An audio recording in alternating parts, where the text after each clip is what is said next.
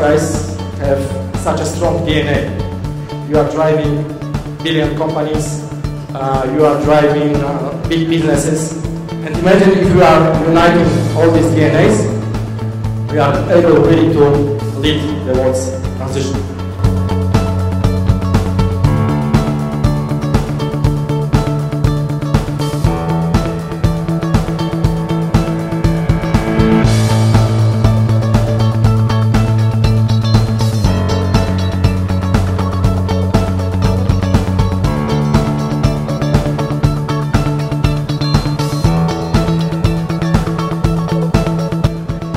We will be working on the business models.